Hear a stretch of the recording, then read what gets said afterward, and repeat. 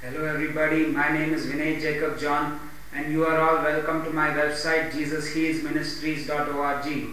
Today we are going to read from the Holy Bible from the Old Testament, 1 Samuel chapter 30 verse 8. And David inquired of our Lord God Jehovah Jireh, our provider, saying, Shall I pursue after this troop? Shall I overtake them? And our Lord God Jehovah Jireh, our provider, Jesus Christ of Nazareth, answered David, saying, Pursue, for thou shalt surely overtake them, and without fail recover all. Let us also go to the book of Ephesians in the New Testament of the Holy Bible. Ephesians chapter 4, verse 11.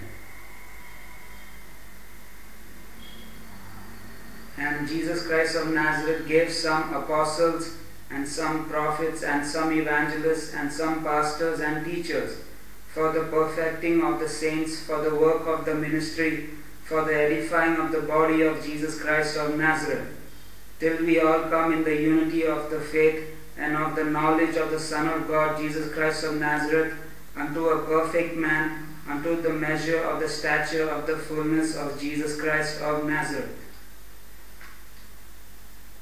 Are you looking for a job today? Ask Jesus, and He might give you your heart's desires. Jesus has plans for you for your future. And these five jobs or gifts from Jesus Christ of Nazareth, you must ask Jesus. First, apostles. Second, prophets. Third, evangelists. Fourth, pastor. Five, teachers. In the name of Jesus Christ of Nazareth, amen. Thank you all for visiting my website, jesushealsministries.org. I'm Vinay Jacob John, and Jesus loves us all.